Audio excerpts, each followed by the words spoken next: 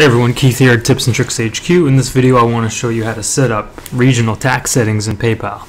Now the reason why you might want to do this, if you have a website with a PayPal shopping cart for example, and you want PayPal to handle the determination of what to charge for sales tax, this is what you would set up. So what would happen is the buyer would make their purchase on your website, they'd be redirected over to PayPal, and at that point, when they log in or whenever PayPal is able to determine their geographic location, then whatever whatever amount that you input for that particular location will be added to the transaction. All right, so the first step we want to do is log into PayPal, click Profile, click My Selling Tools. Now, mind you, I'm I'm working from a Canadian PayPal account, so it might be slightly different for you. What you might be what you're looking for is regional tax settings or sales tax, something like that. All right, so in here, my, my selling tools, sales tax, and then update.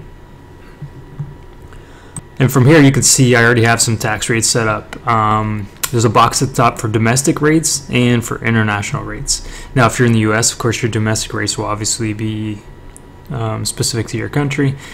And in here, I just want to show you really quick how to add a new one. Um, it says add another sales tax because I already have some in there. Otherwise, it would say add new sales tax. So I'm just going to go in there and you simply choose a province and specify a rate and decide if you want to charge that tax on shipping as well. And if you have more to set up, you just click create another or you click continue. And that's it.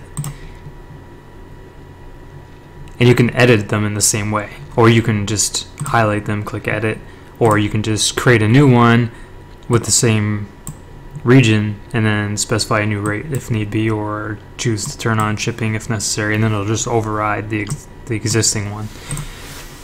Alright, so now for international, it's very similar, but of course you choose the country first and then the rate.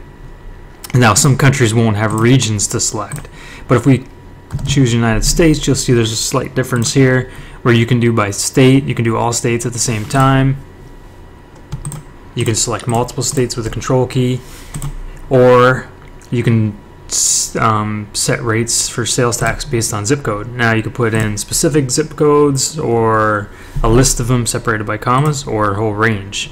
And then you specify the rate just like you did with domestic. Decide if you want to apply the rate to the shipping amount as well. And if you want to add more, click create another or just click continue.